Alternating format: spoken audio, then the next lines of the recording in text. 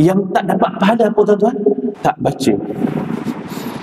Baca tidak, tengok tidak, pegang pun tidak. Heran pun tidak. Maka rugilah bagi dia tuan-tuan.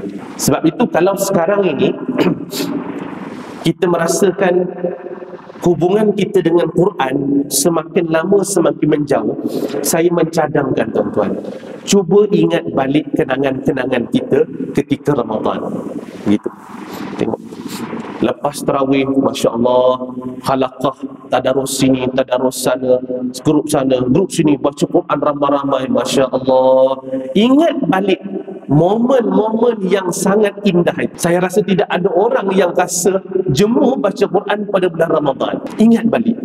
Cuba ingat balik saya cadangkan begitu. Datangkan sedikit semangat supaya kita dapat mempertahankan hubungan kita dengan Quran tuan-tuan